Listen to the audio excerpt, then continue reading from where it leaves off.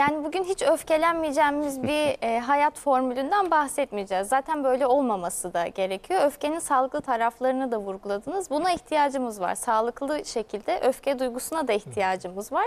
Bununla bir meselemiz yok.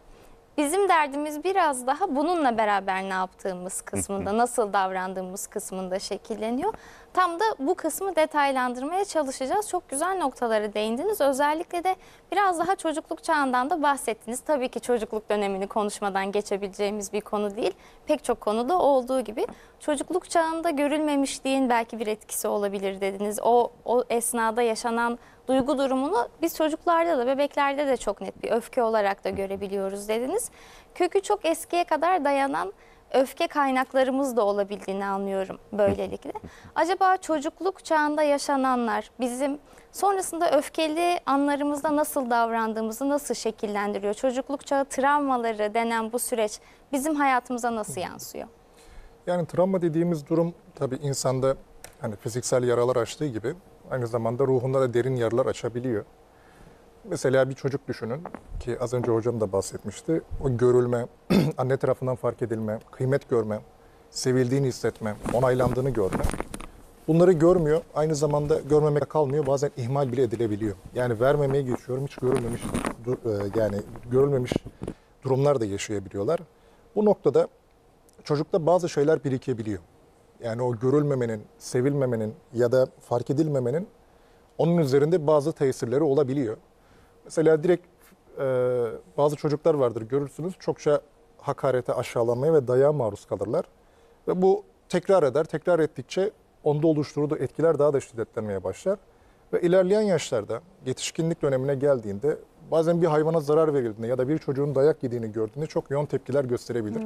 Çünkü aslında orada gördüğü o maruz kalan ve mağdur olan kişi kendi çocukluğudur. O engellemeye çalıştığı, o ihmal edilen, görülmeyen ve aşağılanan çocuktur aslında. Ve küçük yaşta yapamadığı şeyi şu an yapmak isteyebilir. Yani tekrardan bir sahneleme var gibidir.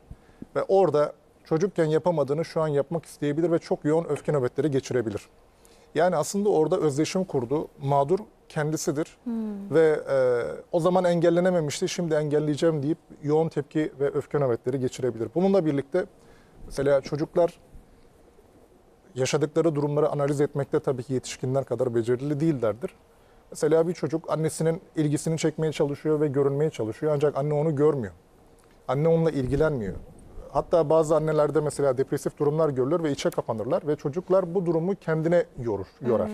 Yani annenin bu durumunun kendi varlığıyla ilişkili olduğunu düşünür ve varlığından dolayı suçluluk duyabilir.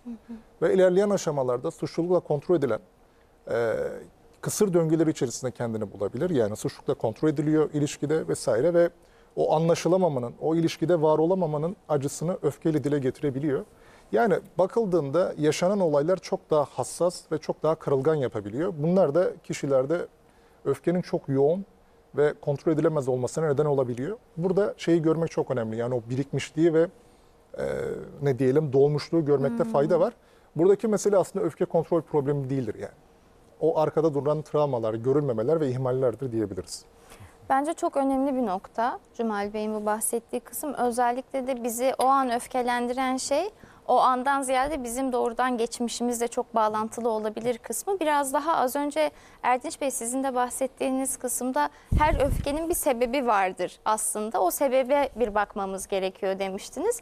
O sebeplerden birisinin de o zaman bu olduğunu anlayabiliyoruz. Yani bizim kendi geçmişimizde bir yaraya dokunuyor o an maruz kaldığımız şey ve o yaranın etkisiyle tekrar belki de bir tepki veriyoruz. Bu sebepleri başka nasıl detaylandırabiliriz? Ya da çok öfkeliyken o esnada nasıl durup bunu düşünebiliriz ki artık tepemizin tası atmış yani. Düşünemeyiz. Evet. Cevabımız hızlı bir şekilde düşünemeyiz. Bu gelişimsel sebeplerden birisi. Her öfkenin sebebi anlık, orta vade ve uzun vade şeklinde ele alınabilir. Anlık olan durumlar yine bir noktada geçmişte ve hocamızın da bahsettiği gibi sembolleştirilmiş ya da bir benzeşmenin yapıldığı bir duruma karşı daha önceden canınız yanmışsa ona benzer bir durum yaşadığınızda ya da durum yaşama ihtimalinde hızlı bir şekilde öfke reaksiyonunu verebiliriz, öfke duygusunu hissedebiliriz. Önemli olan şey burada kişinin evet ben şu an öfkeliyim ve bu öfkemi durdurmalıyım demesi değil. Sağlıklı olan şeylerden birisi öfkenin zaten dillendirilebilmesi.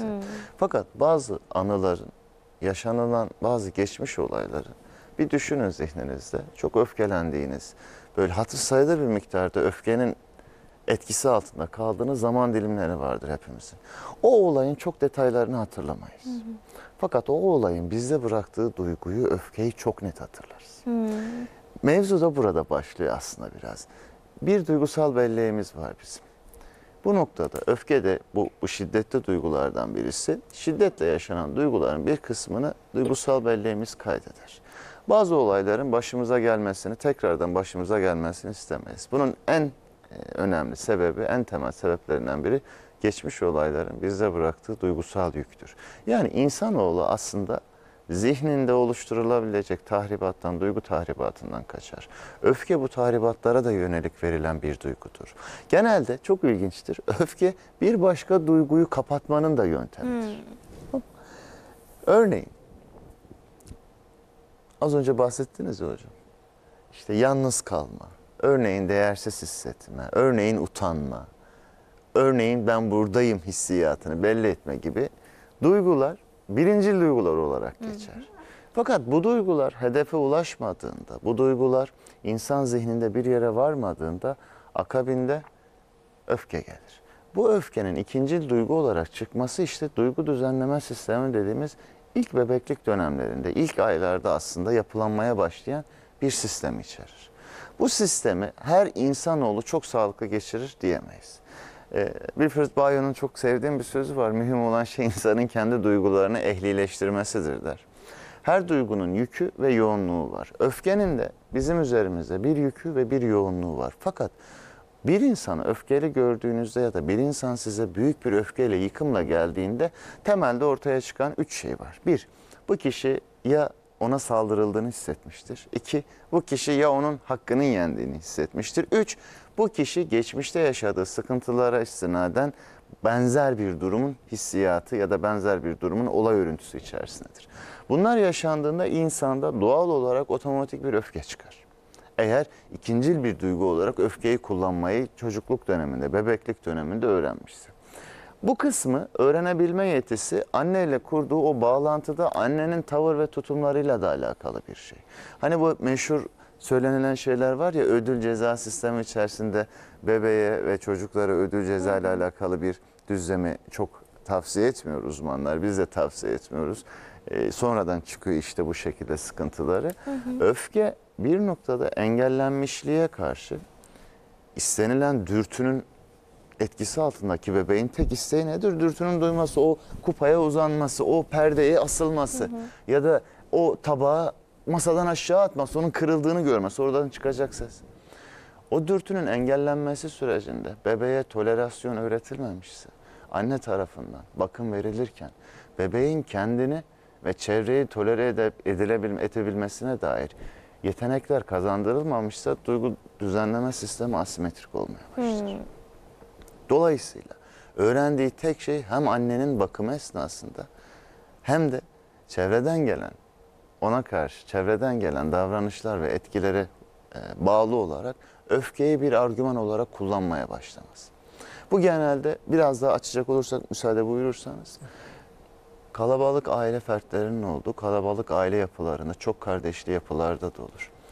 Bebek bir noktadan sonra ya da çocuk bir noktadan sonra e, bakımın her bebek her kardeş bakımın kendisine gelmesini ister.